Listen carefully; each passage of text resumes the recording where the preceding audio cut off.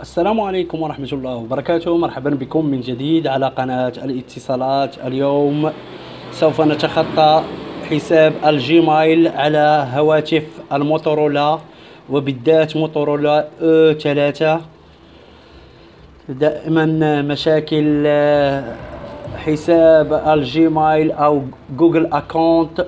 اليوم طريقة لتخطي حساب جوجل أكونت على هاتف موتورولا. شاهدوا معنا الفيديو.